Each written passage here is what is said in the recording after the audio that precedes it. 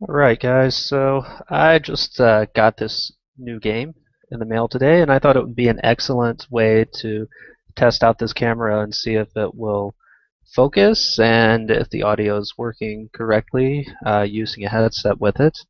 Uh, so uh, let's just take a brief overview of this Kickstarter game called uh, Clever. This was a project run by a guy named Jason Santamaria. Uh, was a pretty well done project. Uh, unfortunately, like most Kickstarters, it did miss its intended launch date of April, but uh, three months out is actually not that bad for a Kickstarter.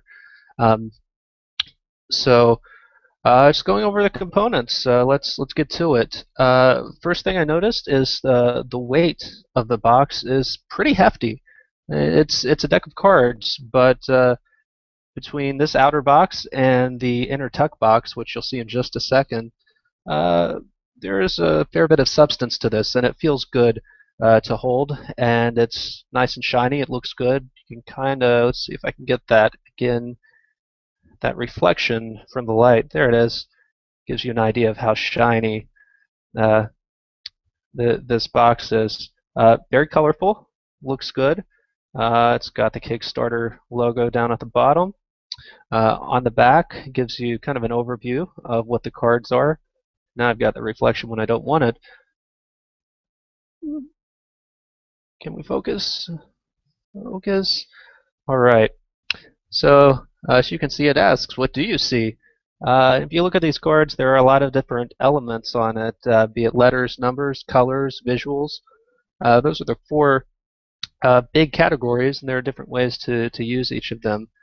Um, now, it should be stated that I've not actually been able to play this game or any of its variations yet. Uh, I've just read a little bit of it and uh, what I know uh, from having seen it on a Kickstarter page, uh, but it is very intriguing. I do know it's based off of Rummy initially, but uh, there is a pretty, pretty active community uh, around this game that are coming up with many, many different variations of it uh, at clevercardgame.com. So let's go ahead and pop this open and check out the inside. As you can see, it's nice and uh, thick cardstock. Um, in fact, it feels feels a little poofy even, uh, but not in a fragile way. Uh, and the shiny covering goes all the way to the inside. So uh, I like that it actually flips around the corners it, or the edges. It doesn't end at a corner. It goes all the way around. Nice touch. Very nice touch.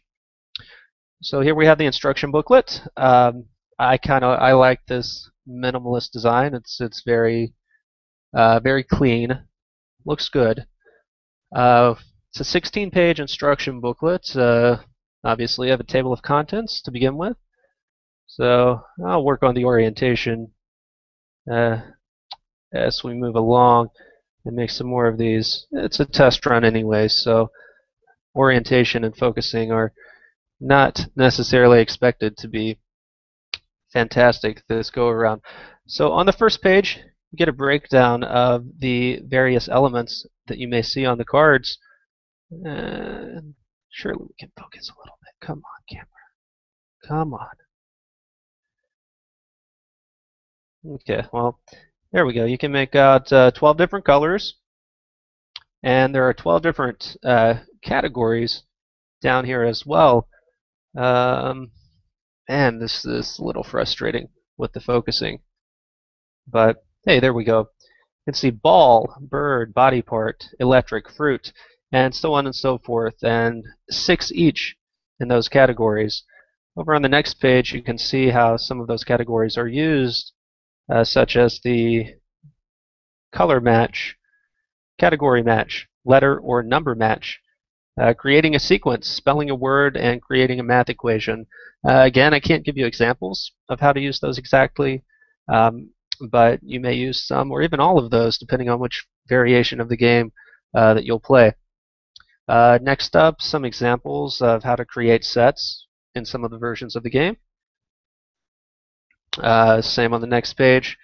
And then we have four different variations uh, included in the instruction booklet. Again, clevercardgame.com, you can get more variations, plenty more. I, I think I read there are 70 plus, possibly more by now. So Clever Rummy is one that's included. That's probably going to be uh, very similar to your standard Rummy game, aside from your the ability to be, well, clever with it and create unique sets of three. Uh, speed, which is based off of the standard deck game, I believe. You have Tic Tac Took, which uh, I very briefly read through this this one out of curiosity. Oh man, I gotta get this figured out for next time, guys. I really apologize about the focusing issue. All right, uh, it is uh, tic tac toe, essentially played in rounds, uh, and it's point based. It's not just a single round thing, so uh, pretty cool deal. I think I skipped one here. Ah, yes. Three, uh, from my understanding, is, is one of the original games uh, created using this deck. Um, and based on the comments from Kickstarter, one of the most popular as well. Practice, practice makes perfect, right? We'll figure this focus thing out eventually. So that's the instruction booklet. Uh, again, useful, but a huge resource at the Clever website. So looking inside the box, um, got the tuck box in the center. Uh, around this uh, inner holster, kind of cool little touch actually. You've got the Clever supporters here at the top, and then you can see all along the side and underneath the deck. Uh, it's a list of names of people that uh, pledged a certain amount or um, otherwise have contributed to the creation of this game. A cool little touch for them. So that's that. Uh, here's the tuck box. Again, pretty high quality uh, of the tuck box, not the camera focus, obviously. Uh, you can kind of see there again the reflection. It is the same shiny type of coat and finish as the other box. If I move this out of the way, that might help. Yeah, I think it did. So uh, this is your standard card deck stock, um, but still sturdy. What I really like is that uh, this game was uh, overfunded, close to about 200% of its $8,000 goal. Uh, at the $15,000 mark, the plastic card stock was unlocked. So all of these are plastic cards. Um, well, you can't hear that, but let's see if I can get it close enough to my mic. Love the sound of that. Uh, plastic cards feel great. They have uh, great durability. They're going to last many thousands of rounds. Um, they're a lot more tolerant to, to being bent and to just bouncing back flat. Uh, not going to get marred or scratched very easily. And they they shuffle amazingly good, crisp, easy shuffle. And they slide right off of each other. I love, love, love the quality of these plastic cards. So let's take a look at a couple of, of these. We can get a little spread going on. We can... No, that's probably not going to work with this setup. I'll work on that too. Lots of notes to take and uh, put to use in some future videos. So here we have a the tennis ball, um, which has, as you can see, several of the elements. Uh, each card's going to have the, the color, the letter or the number, uh, the name, and a visual on it. So if you can imagine uh, taking Rummy as an example, having this, this three card and trying to come up with uh, with some other sets. Let's see, here's a three. And what else do we have in here?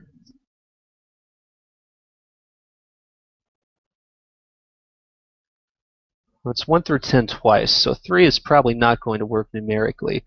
But, thinking outside the box, well, 3 plus 3 equals 6. Now it's a little tough to see. 3 plus 3 equals 6. That's a valid set in this game. Likewise, you could have started with 6. Let's go this way. That makes more sense.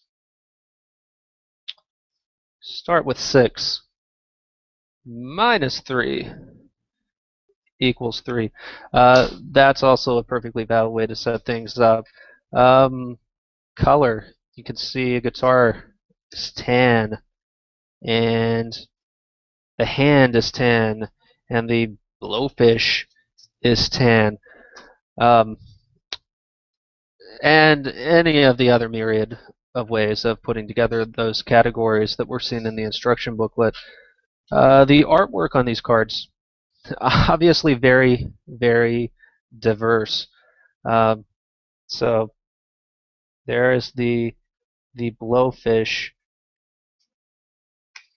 Come on. For what it's worth, I'm just as frustrated with this as anyone else who may be watching right now. There's the blowfish. You can kind of see it. Um, man, that's frustrating. Should be catching that.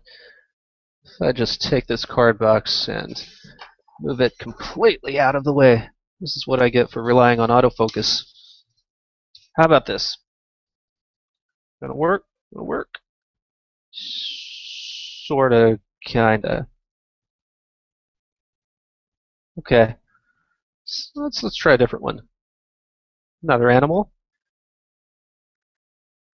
Hummingbird. No. No look there either. Okay, well that that's probably a sign that uh, this isn't going to go anywhere quickly, but uh, hopefully you, you get an idea of uh, at least the potential of what could happen with a game like this with, with such diversity. Here's a letter harmonica. Sure, why not? We'll try it again. Nope, not so much. So I will work on the orientation of this uh, this camera setup. Color purple grapes, and uh, I probably won't redo this this video uh, just because it was designed as a test. Um, but uh, I do plan to get this video situation figured out. Um, hopefully, uh, I'll have some other games that I can actually sit down do a proper unboxing, components overview, and playthrough on. Um, the whole goal of this long term, if anyone out there is interested, is to uh, do some playthroughs, uh, give some feedback on, and just generally get some content out about uh, solo board games. Uh, I've noticed it to be a pretty sorely lacking um, area as far as card ga- or as far as board games go, and card games for that matter. Completely open uh, to to either one. Um, I love sitting down and playing with a group of buddies just as much as anyone else, but at the same time, they're not always available. So uh, I've been kind of on a crusade, so to speak, uh, to find some interesting games. Uh, I've just picked up uh, some older ones uh, called Made One's Mage Knight, which uh, many people are probably familiar with at this point. So, but it's new to me, so that'll probably be one uh, that's checked out pretty soon. And then uh, there are some micro games off of Kickstarter like uh, Province and um, Harbor. It's one that'll be out later this year that I'm pretty pretty curious to get my hands on and give a rundown on. Um, so I hope to do that. Hopefully there are some people out there that are also interested in the same thing. If anyone has suggestions, ideas, uh, feedback, or just wants to uh, complain about the quality of the the camera work in this video, which I would completely understand and appreciate, uh, go for it. I will be I will be happy to uh, respond to any comments, and if I have the means and availability, um, would love to investigate some games. If anyone has suggestions for solo games in particular, uh, again, that's the uh, thing that I would really like to focus on uh, in the near future uh, with uh, with some video series. So, thanks to anyone who was watching. Thank you, Jason Santa Maria, for Uh, creating this uh, beautiful little game. I'm excited to play it. I hope some of you guys out there are too.